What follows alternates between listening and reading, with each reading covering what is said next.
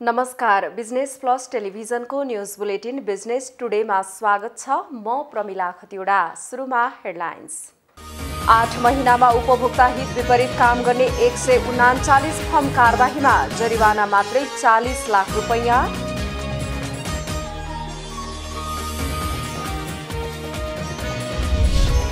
जोरपाटी सुन्दरी जल सडकको कालोपत्रे काम सुरु।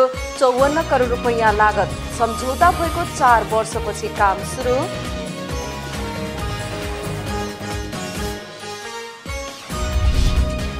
लामो समयसम्म वर्षा नहुँदा डडेलधुराका स्थानीयलाई खाद्यान्न अभाव हुने चिन्ता खडेरीका कारण यस वर्ष गहुँ उत्पादन साठी प्रतिशतले कमी हुने आकलन। मुस्ताङ तथा म्याग्दी जिल्लामा श्रद्धालु भक्तजन तथा पर्यटकको संख्यामा कमी। बाह्य पर्यटक आवागमन नहुँदा स्थानीय घरेलु तथा हस्तकला उद्योगहरूको व्यवसायमा गिरावट। र कतार सरकारको असार सत्रदेखि चौथो संस्करणका बैंक नोटहरू चलन चल्तीबाट हटाउने निर्णय नेपालीलाई सटही गरिहाल्न राष्ट्र बैङ्कको आग्रह।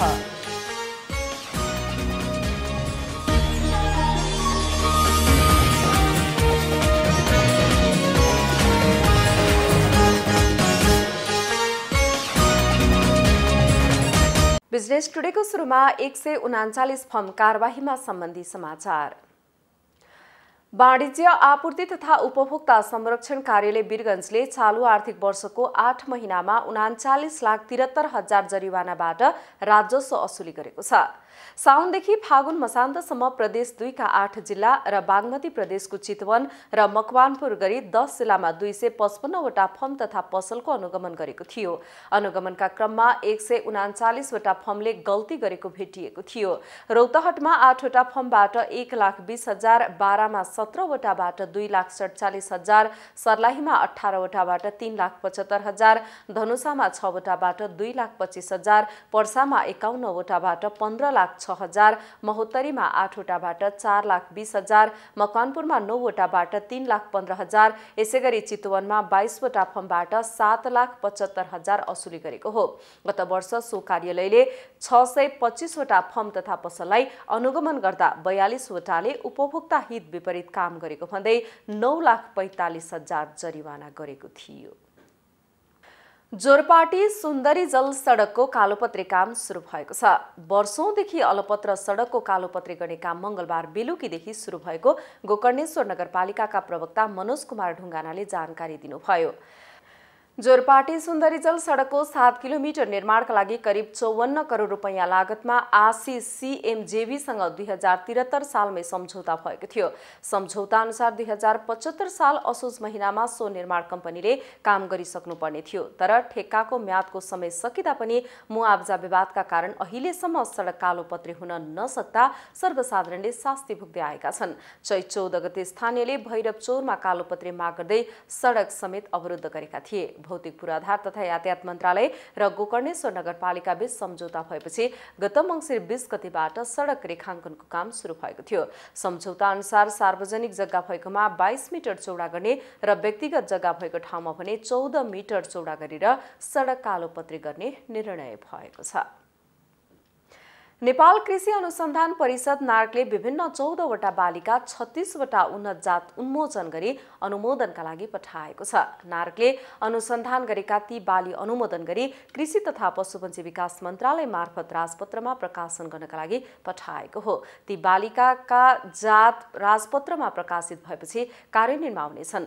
चौधवटा बालीमध्ये धानका पाँच सय पाँच एमपी तिन हजार तिस एरिज ए जेट छ हजार छ सय त्रिसठी एसटी सत्ताइस पी बाइस र आरएचआर एक सय एघार गरी छवटा जात अनुमोचन गरिएको छ। यस्तै मकैको मनोकामना नौ गहुँका मुडुले एक कौटिला तिला सुरमा भेरीगङ्गा हिमगङ्गा खुमल शक्ति लगायतका गरी दसवटा जात उन्मोचन गरिएको छ। यस्तै फापरको पनि दुई दुईवटा जात उन्मोचन भएका छन्। यस्तै कोदोको रातो कोदो उखुको जितपुर पाँच जितपुर छ र जितपुर सात उन्मोचन गरिएको मन्त्रालयले जानकारी दिएको छ। नार्कले खाद्यान्न तरकारी तेलहन दलहन फलफुल लगायतका उन्नत जात अनुसन्धान गरी किसानलाई सिफारिस गर्दै आएको छ। बिजनेस टुडेमा पालो भएको छ ब्रेकको।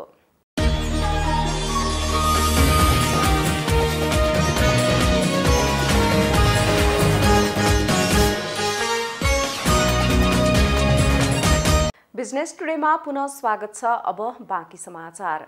सप्तरीको सप्तकोशी नगरपालिका एक स्थित फतेपुर स्वास्थ्य चौकीमा सञ्चालित इमर्जेन्सी सेवा प्रभावित भएको छ। एमबिबिएस डाक्टर सहित गत माघ पाँच गतेबाट सुरु भएको सेवा उचित व्यवस्थापन अभावमा प्रभावित बनेको हो। सप्तरीको सप्तकोशी नगरपालिका एक स्थित फतेपुर स्वास्थ्य चौकीको सेवा प्रभावित बनेको छ।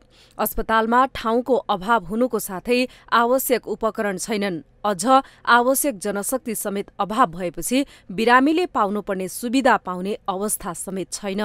स्वास्थ्य चौकीमा जम्मा दुईवटा बेड मात्रै छ। इमर्जेन्सीमा ठाउँ अभाव भएपछि टेबल र भुइँमा उपचार गराउनुपर्ने बाध्यता छ। विगतको तुलनामा यति बेला स्वास्थ्य चौकीमा बिरामीको संख्या पनि बढेको छ तर आवश्यक उपकरण अभावकै कारण सेवा अनियन्त्रित बन्दै गएको छ। विगतमा पाँच जनासम्म बिरामी दिनभरि आउने स्वास्थ्य चौकीमा अहिले सत्तरीदेखि अस्सी जनासम्म बिरामी चेक जाँचका लागि आउने गरेका छन्। अब चाँडै आवश्यक उपकरण तथा जनशक्ति उपलब्ध गराउने सप्तकोशी नगरपालिकाले जनाएको छ। त्यहाँ सबै खाले आकस्मिक सेवाहरू उपलब्ध छ। र त्यहाँ चाहिँ सम्भव नहुने चाहिँ रेफर गरेर चाहिँ हामी सम्बन्धित चाहिँ हस्पिटलहरूमा त्यहाँबाट चाहिँ रेफर गरिन्छ।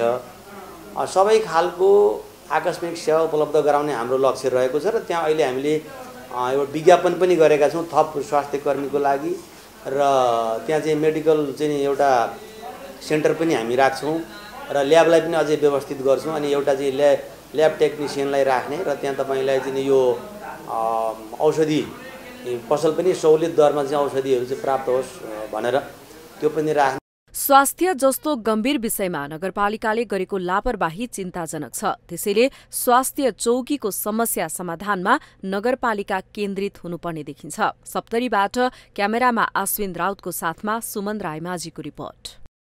डडेलधुरामा गत वर्षको तुलनामा यस वर्ष गहुँ उत्पादन कम हुने भएको छ। लामो समयदेखि वर्षा नभएका कारण जिल्लामा यस वर्ष गहुँ उत्पादन साठी प्रतिशतले कमी हुने आकलन गरिएको छ। दोस्रो प्रमुख खाद्यान्न बाली गहुँको उत्पादन यस वर्ष लामो खडेरीका कारण कमी हुने भएपछि डडेलधुरा जिल्लामा खाद्यान्न अभाव हुने देखिएको छ। लकडाउनको मारमा परेका डडेलधुराका स्थानीयलाई खाद्यान्न अभाव हुने चिन्ताले पिरोलेको छ। मेघ नलाग्यो आफ्नाले मेघ लागि कसरी भएको छ गाउँ खेती गर्ने बेला पानी पनि परेन। यो जो ठाउँमा पानी भइआ हो त्यही ठाउँमा गहुँ मर्यो केही पनि भएन यस्तै बाली भयो। यो एउटा बालो हरियो छ एउटा बालो पहेँलो भइरहेछ अब त्यही पनि असिना आउँछ कि के हुन्छ भन्ने डरले काटिरहेको छु। लामो समयसम्म वर्षा नहुँदा किसानले मेहनत गरेर लगाएको गहुँमा दाना नै नफलेपछि अहिले गाई भैँसीलाई खुवाउँदै गरेको किसानको गुनासो छ। यो वर्षा वर्षा हुँदैन पानी पर्दैन जल मल त छ जल छैन। अब यो जौँ पनि एक खेतमा लगाए यही जौँ हो। गाई बाच्छा पनि भोग भयो मान्छे लगाए पनि भोग भयो। गाई बाच्छा पनि गोठभरि गाई बाच्छा छन्। उसलाई पनि पराल सिद्धियो। अब त्यो गाउँको नल काटेर राखिराख्थ्यो खान्थ्यो। गाई बाच्छालाई पनि भोग भयो मान्छेलाई पनि भोग भयो। यसपालि डडेलधुरामा गहुँ बाली लगाउने समयदेखि बाली भित्राउने समयसम्म वर्षा भएको छैन। जिल्लाको अधिकांश पाखो जमिनमा गहुँ खेती गरिएको छैन। सिंचित रहेको जमिन आतलीताल गन्याबधुरा र परशुराम नगरपालिकामा पनि गहुँ बाली राम्रो भएको छैन जसका कारण यस वर्ष गहुँ उत्पादनमा साठी प्रतिशतले कमी आउने कृषि ज्ञान केन्द्र डडेलधुराले जनाएको छ। यो चाहिँ अहिलेसम्मको हाम्रो किसानहरूको गहुँ खेती गर्ने क्षेत्रफललाई हाम्रो तथ्याङ्कले चाहिँ खास गरेर आठ हजार क्षेत्रफल भइरहेको अवस्थामा यस वर्षको गहुँको उत्पादन चाहिँ लामो खडेरीका कारणले यो सिन्चित क्षेत्रफल धेरै कम भएको कारणले चाहिँ व्यापक रूपमा घटेको हामीले अनुमान गरेका छौँ। प्रारम्भिक अनुमान चाहिँ हामी साठी प्रतिशत जति गत वर्षको तुलनामा साठी प्रतिशत उत्पादन घट्ने हामीले अनुमान गरेका छौँ। हाम्रो टिम बाली कटानीका लागि फिल्ड फिल्डमा गइरहेछ। र एकिन तथ्याङ्क चाहिँ अब केही दिनपछि हामी कम्पाइल गरेर सार्वजनिक गर्छौँ। गत वर्ष तेइस हजार मेट्रिक टन गहुँ उत्पादन भएको डडेलधुरामा यस वर्ष भने समयमै वर्षा नभएपछि गहुँ बाली हुने अधिकांश जमिन बाँझै छन्। डडेलधुरामा आठ हजार सात सय चालिस हेक्टर क्षेत्रफलमा गहुँ खेती हुने गरेको छ। डडेलधुराबाट विमल जैरूको रिपोर्ट। नेपालको प्रमुख धार्मिक स्थलको रूपमा रहेको मुस्ताङको मुक्तिनाथमा आउने श्रद्धालु भक्तजनको संख्यामा कमी आएको छ। वसन्त ऋतुको आवागमनसँगै भारतीय र युरोपेली मुलुकका पर्यटकले भरिने मुक्तिनाथ क्षेत्रमा गत वर्षदेखि नै महामारीको रूपमा फैलिएको कोभिडका कारण यो सिजनमा समेत पर्यटकको आवागमनमा सुधार हुन सकेन। हिमालपारीको जिल्ला भनेर चिनिने मुस्ताङ जिल्लाको मुक्तिनाथ र म्याग्दी जिल्लाको गलेश्वर धाममा श्रद्धालु भक्तजन तथा पर्यटकको संख्यामा कमी आएको छ। आन्तरिक तथा बाह्य पर्यटक आवागमन नहुँदा होटल व्यवसाय स्थानीय घरेलु तथा हस्तकला उद्योगहरूको व्यवसायमा पनि गिरावट आएको हो। सड़क र संचारको राम्रो पहुँच पुगे पनि कोविड नाइन्टिनको दोस्रो लहर आएको कारण स्थानीय होटल तथा व्यवसायमा यसको प्रत्यक्ष असर देखिएको छ। यो वर्ष चाहिँ धेरै जनसङ्ख्या यो पर्यटकको जनसङ्ख्या चाहिँ धेरै कम छ थोरै छ। अनि किन भनेपछि यसको कारण चाहिँ यो कोभिड नाइन्टिनले गर्दाखेरि जनसङ्ख्या एकदमै कम छ योपालि अनि त्यसपछि यो किन भनेपछि यो काम हुनेको कारण पनि रहेछ। अनि मान्छेहरूले चाहिँ धेरै बिचरा यो व्यापारी थिएन पोहोर कोभिडले गर्दाखेरि। पैसाहरू खर्चहरू तिनीहरू अभाव भयो। त्यस कारणले पनि यो पालि यहाँको होटेल व्यवसायीहरूले चाहिँ धेरै एकदमै घाटा अथवा पाहुनाहरू त्यस्तोहरू होइन पर्यटकहरू धेरै कम छ यो पालि। प्रमुख धार्मिक गन्तव्यको रूपमा रहेको यस क्षेत्रमा भारतीय पर्यटक धार्मिक भ्रमण र युरोपियन मुलुकका पर्यटक हिम श्रृङ्खलाको दृश्यावलोकन गर्न उल्लेख्य संख्यामा आउने गर्दछन्। तर कोरोना भाइरसको कारण यो क्षेत्र पर्यटक विहीन बनेको छ। कोभिडले गर्दाखेरि चाहिँ मान्छे धेरै कम भयो। यसपालि चाहिँ अब मान्छे त्यति आउँदैन होटलको चाहिँ चलपाल त्यति छैन। प्रमुख गन्तव्यको रूपमा रहेको यस क्षेत्रको पर्यटन व्यवसाय आर्थिक उपार्जनको प्रमुख स्रोत हो। कोरोनाको दोस्रो लहर शुरू भएकोले तत्काल बाह्य पर्यटक आउन सक्ने अवस्था देखिन्न। सुरक्षित तवरले यात्राको वातावरण बनाउने तथा उचित बसाईको व्यवस्थापन गर्न सके कोरोनाको कारण थलिएको पर्यटन व्यवसायलाई आन्तरिक पर्यटनबाट भए पनि केही टेवा पुर्याउन सकिने देखिन्छ। यसतर्फ स्थानीय निकायको ध्यान जान आवश्यक छ। पाल्पा सहकर्मी प्रकाश नेपालको रिपोर्ट। बिजनेस टुडेमा पालो भएको छ ब्रेकको।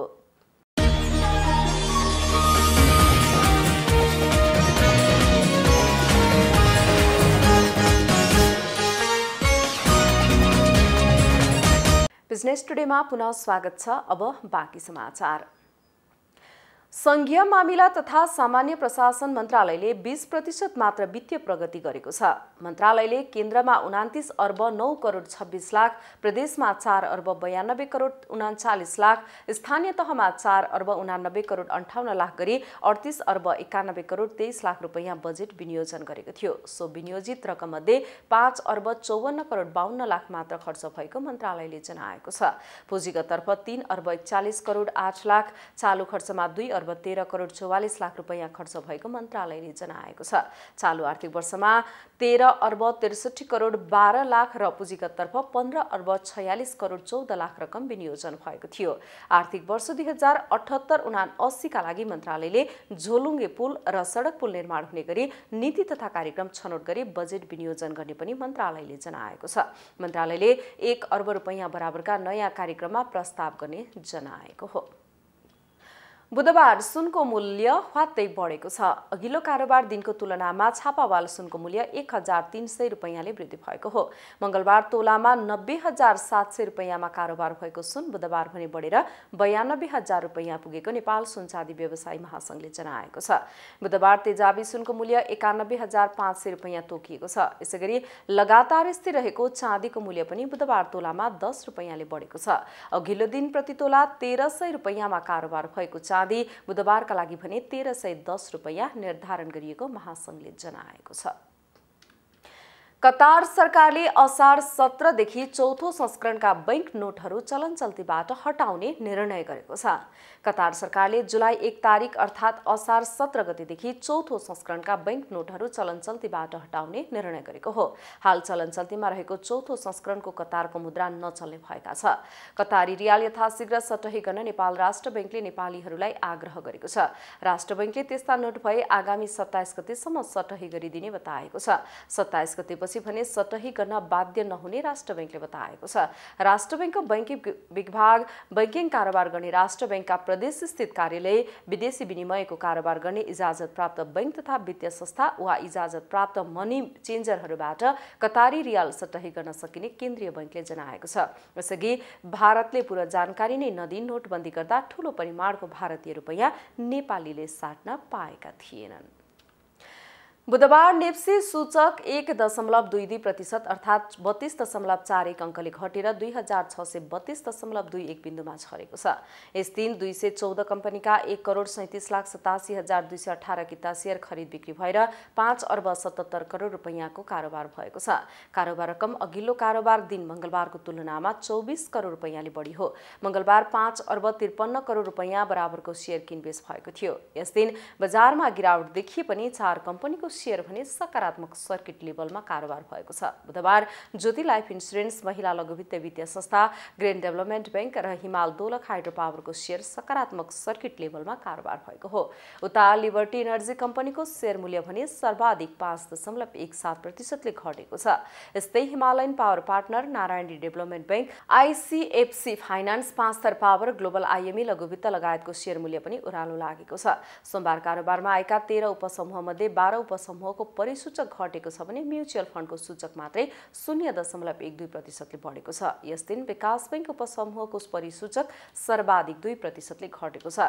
त्यसै गरी फाइनान्स उत्पादन तथा प्रशोधन बैङ्किङ हाइड्रो पावर निर्जीवन बिमा र माइक्रो फाइनान्सका परिसूचक एक प्रतिशतभन्दा बढीले घटेको छ। बुलेटिनको अन्त्यमा अहिलेसम्मका हेडलाइन्स।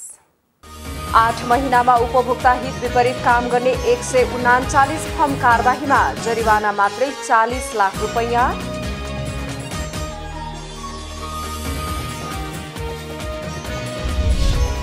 जोरपाटी सुन्दरी जल सडकको कालोपत्रे काम सुरु चौवन्न करोड रुपैयाँ लागत। सम्झौता भएको चार वर्षपछि काम सुरु।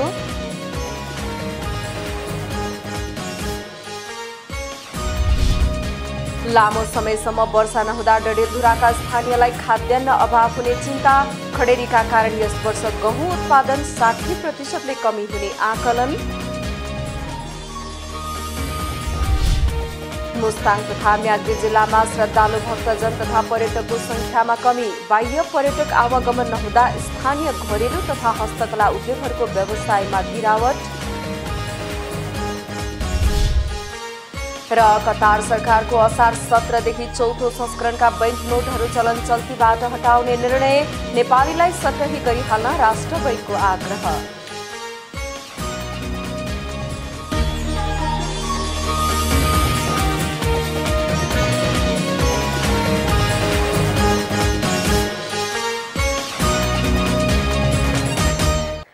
बिजनेस टुडे अहिलेलाई यति नै हेर्दै रहनुहोला। Business plus television business plus business first नमस्ते।